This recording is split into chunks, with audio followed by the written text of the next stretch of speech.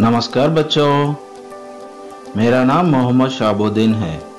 जड़पी H S छः भर्ती मरकुक मंडल है। बच्चों, आज का पाठ है क्रिया। आज हम क्रिया के बारे में सीखेंगे। क्रिया की परिभाषा इस प्रकार है।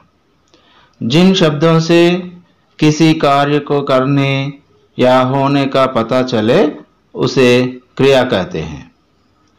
हम सारे दिन कोई ना कोई काम करते रहते हैं या कार्य करते देखते हैं।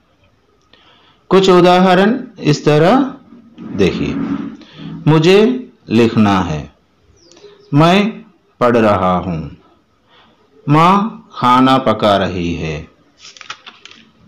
यहाँ पर आप इन वाक्यों में देखेंगे तो पता चलता है कि कुछ काम हो रहा है। जैसे कोई कह रहा है, मुझे लिखना है। लिखना एक कार्य है। दूसरे वाक्य में, मैं पढ़ रहा हूँ। इसमें पढ़ना एक काम है। माँ खाना पका रही है। इसमें पका रही काम है।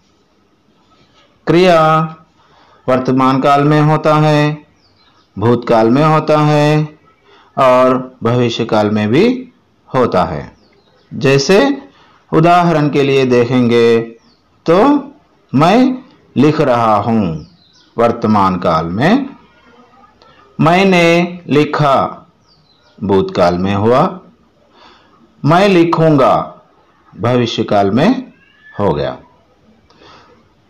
चलो बच्चों, अब क्रिया के वेद पर प्रकाश डालेंगे। क्रिया के दो वेद होते हैं। एक सकर्मक क्रिया और दूसरा अकर्मक क्रिया। सकर्मक क्रिया का परिभाषा देखिए। सकर्मक क्रिया में कर्ता के काम का प्रभाव किसी अन्य कर्म पर पड़ता है। इसे सकर्मक क्रिया कहते हैं। जैसे, राम अखबार पढ़ रहा है। रमा सितार बजा रही है। इन वाक्यों में, राम क्या पढ़ रहा है? राम अखबार पढ़ रहा है। राम कर्ता के स्थान पर है। अखबार अन्य विषय, यानी चीज़ या कोई वस्तु है। या कर्ता का फल, कर्म चीज़, कोई अन्य चीज़ पर पड़ रहा है। रमा सितार बजा रही है। रमा, इस वाक्य में रमा कर्ता हो गया और सितार अन्य वस्तु या विषय हुआ।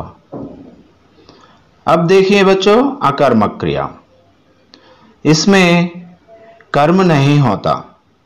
कर्ता के काम का प्रभाव किसी पर ना पढ़कर, स्वयं कर्ता पर पड़ता है।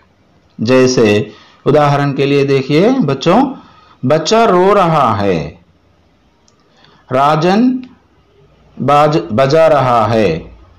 इन वाक्यों में बच्चा स्वयं रो रहा है। राजन स्वयं बजा रहा है। राजन बजा रहा है। इसलिए इसमें राजन स्वयं बजा रहा है। कर्ता का प्रभाव किसी किसी पर ना पड़कर, स्वयं कर्ता पर पड़ता है। ठीक है बच्चों?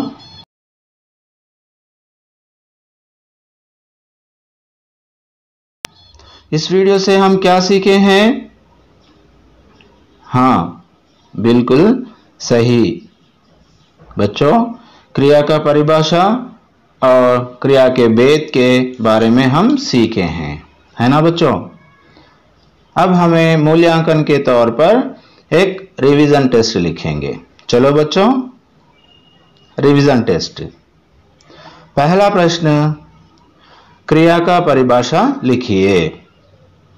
दूसरा प्रश्न, क्रिया के वेद कितने हैं, उनके नाम लिखो। तीसरा प्रश्न सकर्मक क्रिया के कुछ उदाहरण वाक्य लिखो।